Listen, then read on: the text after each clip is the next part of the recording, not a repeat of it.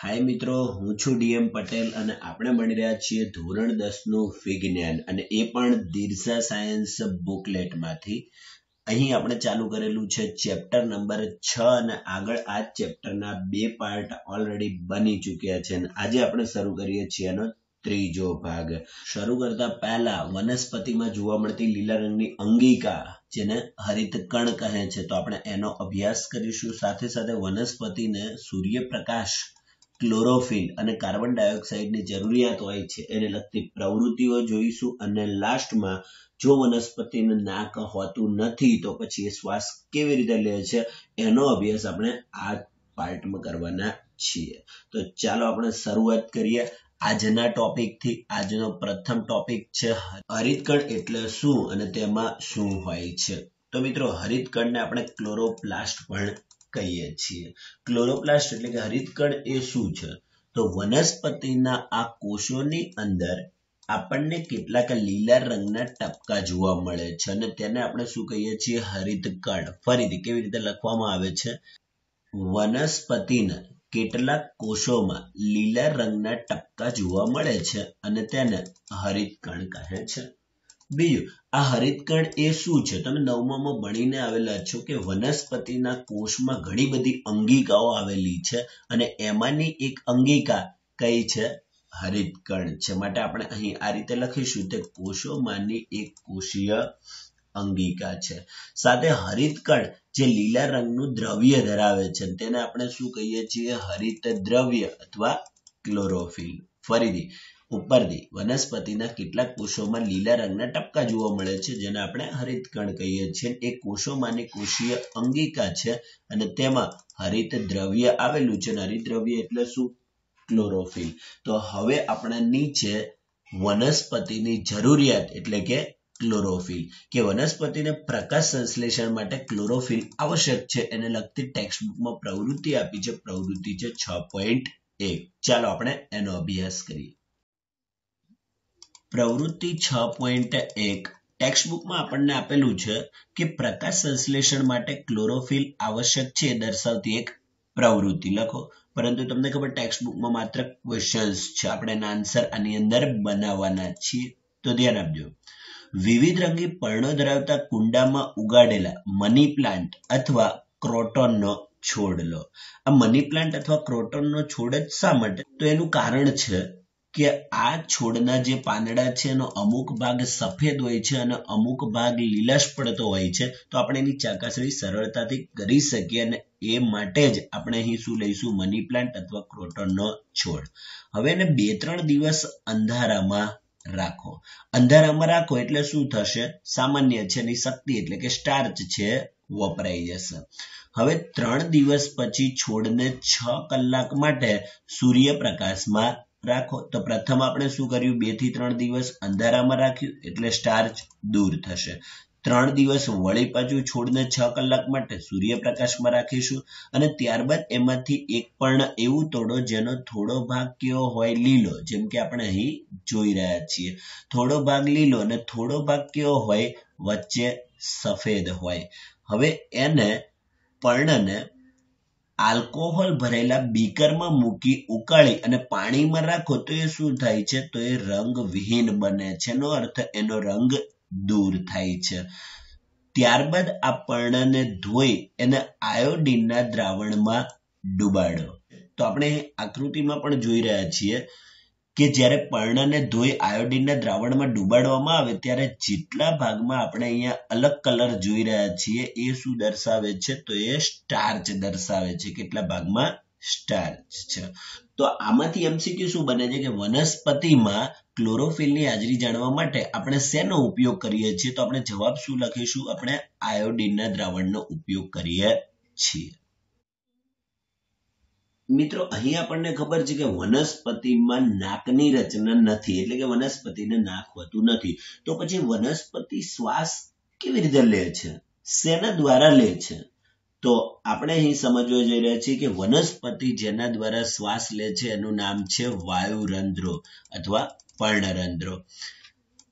અને વાયુરંધ્રો અથવા પર્ણરંધ્રો ક્યાં આવેલા છે? તો આપણે અહીં લખી શકીએ કે વાયુરંધ્રો પર્ણની સપાટી પર સૂક્ષ્મ છિદ્ર સ્વરૂપે આવેલા હોય છે. ફરીથી વાયુરંધ્રો પર્ણની સપાટી પર સૂક્ષ્મ છિદ્ર સ્વરૂપે આવેલા હોય છે.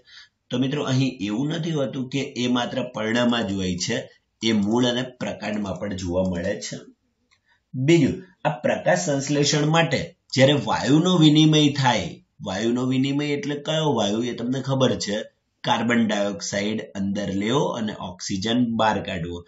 તો એ વાયુનો વિનિમય શેના દ્વારા થાય છે? તો એ વાયુ રંધ્રો દ્વારા થાય છે. હવે એમાં રંધ્રો દ્વારા મોટા પ્રમાણમાં પાણીનો વ્યય પણ થાય છે. વ્યય એટલે બગાડ, જેને આપણે બાષ્પોત્સર્જન તરીકે ઓળખીએ છીએ. તો બાષ્પોત્સર્જન એટલે કે વનસ્પતિના પર્ણોમાંથી પાણીનો વ્યય થવો, પાણીનું દૂર થવું. તો મિત્રો તમને અહીં બે આકૃતિઓ આપવામાં આવેલી છે. બંને આકૃતિઓ શેને લગતી છે? તો બંને આકૃતિઓ વાયુરંધ્રોને લગતી છે. કે જ્યારે વાયુરંધ્રો ખુલ્લા હોય, ત્યારે એની આકૃતિ આ પ્રમાણેની હોય છે. પરંતુ જ્યારે વાયુરંધ્રો બંધ હોય ત્યારે એની રચના આ પ્રમાણેની હોય છે.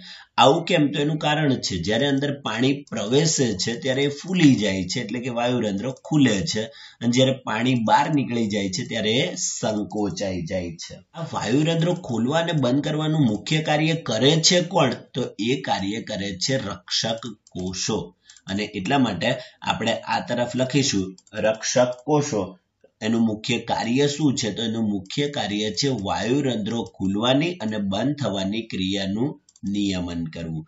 તો ફરીથી એક માર્ક્સમાં રક્ષક કોષોનું કાર્ય લખો. તો આપણે શું લખીશું?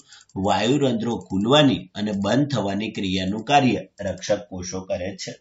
કેવી રીતે? હમણાં આપણે બોલ્યા એ પ્રમાણે કે રક્ષક કોષોમાં પાણી અંદર પ્રવેશે ત્યારે એ ફૂલે છે. પ્રથમ આકૃતિમાં છે એ રીતે.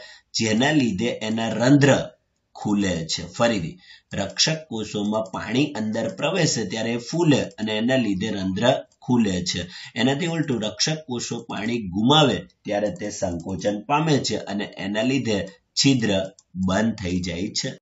નેક્સ્ટ મિત્રો, આપણને ટેક્સ્ટ બુકમાં પ્રવૃત્તિ છ પોઈન્ટ બે આપેલી છે.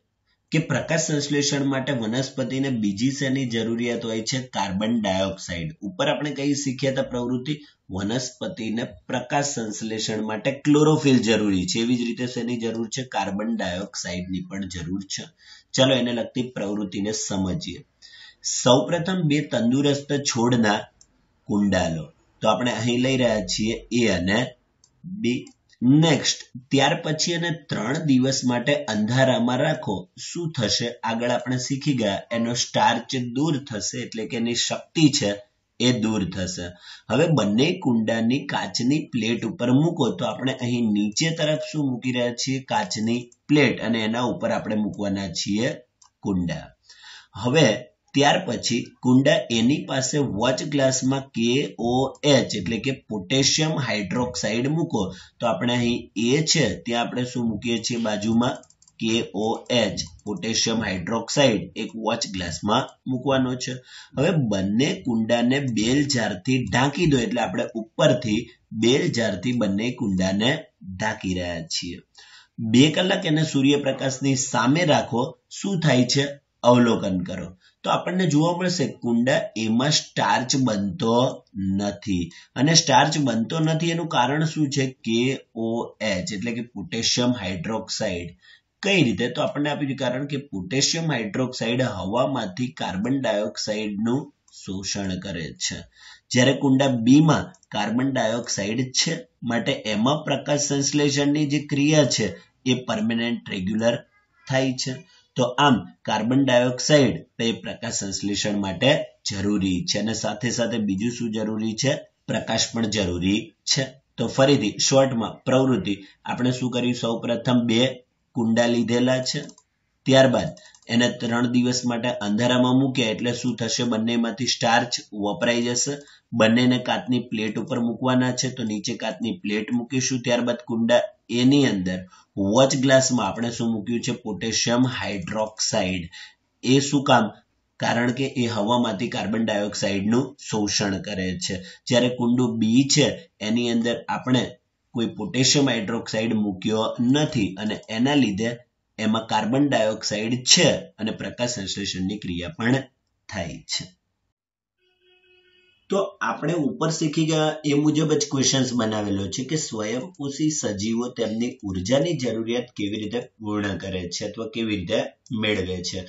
તો સ્વયંપોષીને શાની જરૂરિયાત હતી? કાર્બન ડાયોક્સાઇડ પ્રકાશ સંશ્લેષણ માટે ક્લોરોફિલ તો આપણે અહીં એના મુદ્દા આ રીતે ત્રણ વર્ણન કરી શકીએ. જેમ કે પ્રથમ મુદ્દો, જો સ્થળ જ વનસ્પતિ હશે, તો એ પ્રકાશ સંશ્લેષણ માટે જરૂરી પાણીની પ્રાપ્યતા મૂળ દ્વારા ભૂમિમાંથી શોષણ કરે છે. એનો અર્થ, જો વનસ્પતિને પાણીની જરૂર હશે, તો એ મૂળ દ્વારા પાણીનું શોષણ કરશે.